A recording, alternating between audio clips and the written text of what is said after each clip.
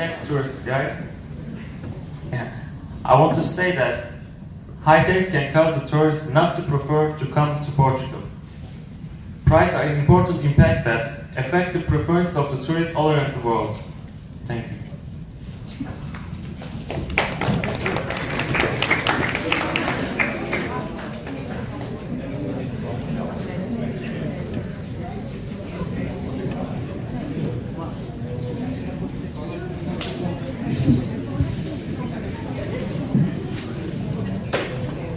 Yes, okay, but the taxes won't be that high, and it's just a small percentage, that goes to the government to pay the other things that we want to change, like for example, the electric tax.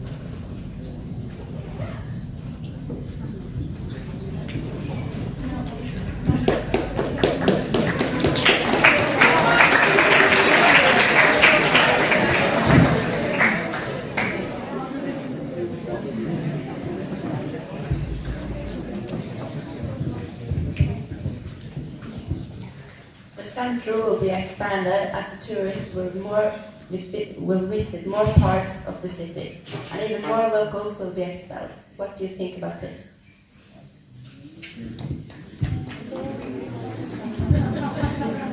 The central will be expanded as the tourists will visit more parts of the city, and even more locals will be expelled. What do you think about this?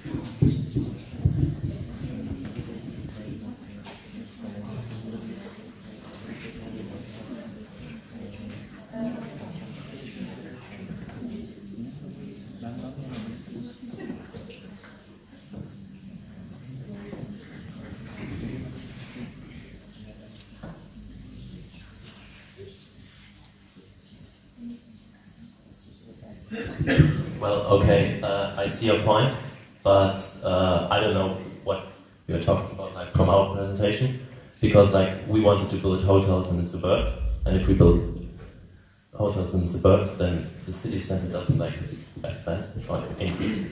What do you mean by that? Yeah, it was, we wanted to have more attractions outside the city center, so there are more tourists there, and the city center will be expanded. Well, but that was your point. You said that you want to build parks outside the city. No?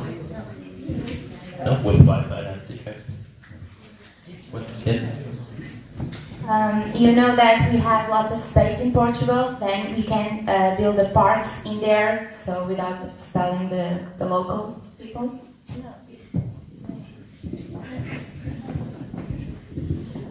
So you say that you want to uh, have more attractions uh, outside the the city centers, but uh, more more tourists will come to cities. Will they will still come to the city centers because in the city centers we have the history, and then they will come to the suburbs to see uh, the attractions that we are creating. So there, then will be tourists like everywhere, and the city will be like uh, legal chaos because we have uh, lots of people everywhere.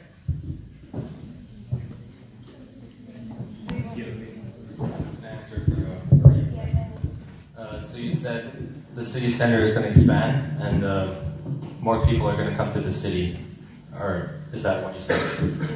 Okay, because if more tourists come to the city center because of the attractions, and uh, the city center is bigger, it can spread out, and less tourists are in one spot, and that's a good thing because there's less pollution, there's less noise, less trash, and it's not all on one place, but spread out throughout the city because there's other stuff to do, not just in the city center. But people always uh, look to where they are live or where they Aí. But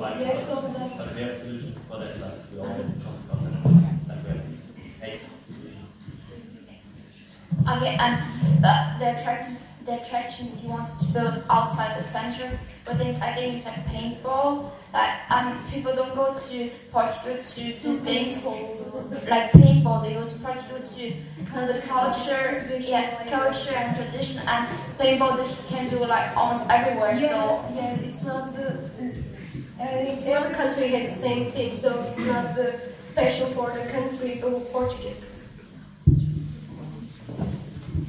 Uh, yes, but some people obviously like museums and the story. But if you want to be um, to turn the, the suburbs more attractive, uh, it would be a bad idea. Activities um, related with uh, the story, and I don't know where is the problem, but.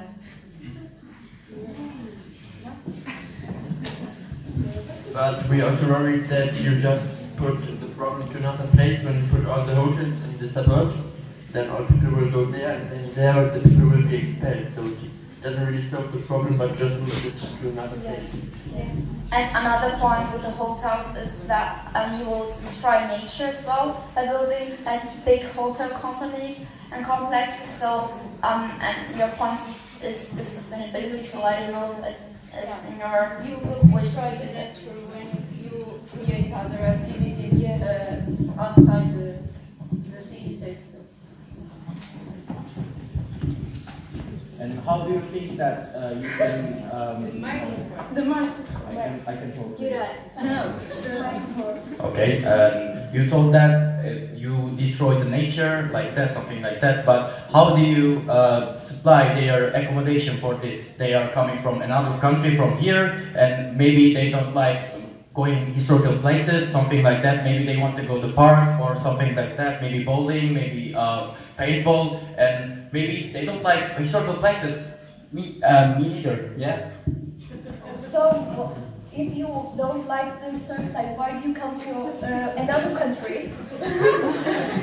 and uh, I want to talk with my friends. I want to meet my friends. Uh, I can see them very well in Turkey. Maybe I, I can visit them and I can stay their home and maybe I can do this with them and I can go to shopping center with them and maybe I can go to parks, uh, paintball centers. Yeah, maybe I can visit some uh, centers with them and maybe we can bring something and we can talk about their uh, something like that. Yeah, that's it.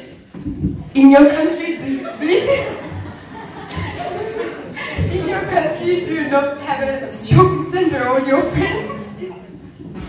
If I, uh, but I don't have them in my country. They are my friends and they live in Portugal, and I want to uh, do with them.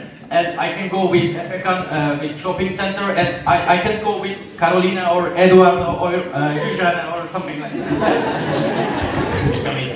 I don't think that it's a good idea to just stick to one personal problem between you two. So can it's just like.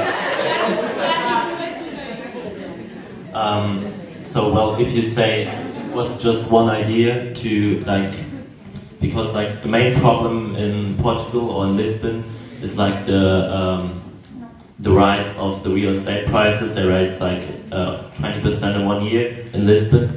So uh, we want to save Lisbon to like transform into a new Venice, which is just like a picturesque facade where all the people come but there's no life.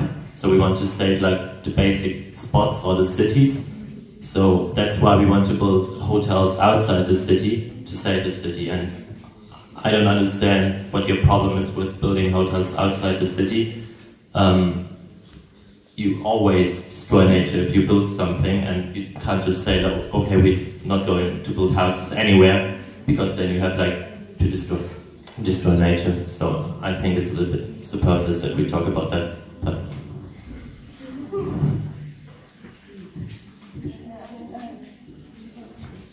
well, then I also have like some critique because um, you are an economic group, so your aim is like to make money, and um, but you didn't like like real solutions because we said okay, overall economy economy benefits. In 2016, uh, Portugal made 12.7 billion euros from the tourism sector, um, but also mass tourism poses new structural problems like overcrowding, and you don't have like solutions for that, and you have to find solutions because instead, as I already told you, like Lisbon or like Porto is like going to transform into like a picturesque facade, just like a facade. So you have to save the culture. Yes, um, the tourists they could stay in the hotels that already exist in the suburbs, and with our solution that the um, that there would would there's a tax for the hotels inside the centers and um, not for the hotels outside the centers, and so that they will be cheaper there and more appealing to the tourists. That will like maybe solve a little bit of the problem. But when they uh, when the tourists go like to the suburb because they're cheap hotels. Okay, but I think the hotels are not the main problem, but more like uh, new, um, like accommodations like Airbnb. Like as you already told, as you did in your presentation, like the main problem is Airbnb, and you also said like we want a law that regulates the total number of short-lived Airbnbs. Um, and then why should we tax hotels if we want to fight like new accommodations like Airbnb? It's just like nonsense. We want to. You, we don't want Airbnb. We want hotels. We want like traditional hotels and not like Airbnb because Airbnb exposes. But we want the hotels outside the center, so that yeah, so yeah, that's what you want as well. But we want the hotels outside to, the center to be used, and we don't really think that you need to build new ones. Like yeah, um, we're against Airbnb, but um, the centers, the hotels, they should stay. That the tourists they can still go to the more expensive ones in the center, but they will will be less appealing than the other ones. Just uh, one euro in um, as in the supermarket. We just uh, lower the prices of it or um, uh, increase the prices of it. So it's not a problem, I think, for them.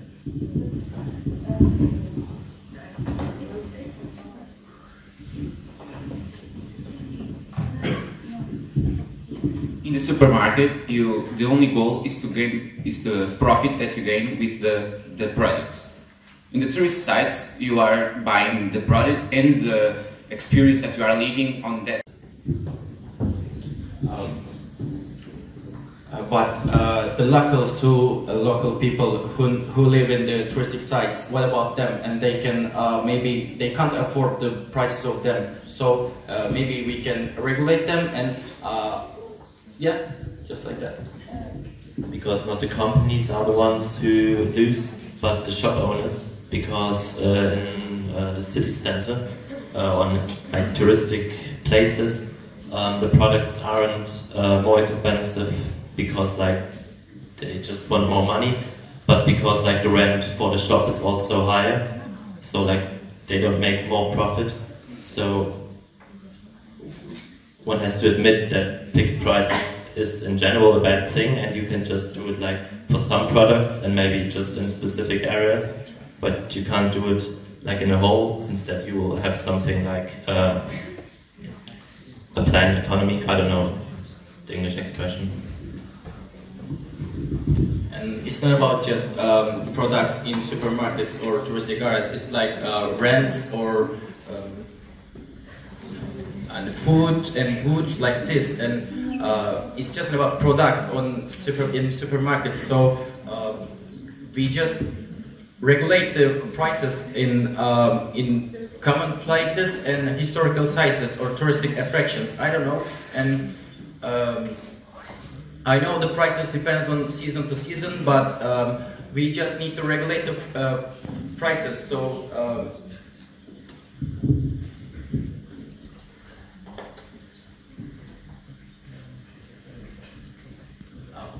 and yeah, it's just like that. I think yeah, maybe we can set the maximum price for uh, every product, so uh, it uh, it doesn't fluctuate uh, season to season. Maybe they can provide uh, supply it. Uh, maybe they can save it. if we um, if we think that the companies um, profit, then we can save the Portugal. Yeah.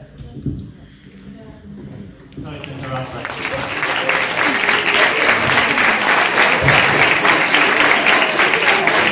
I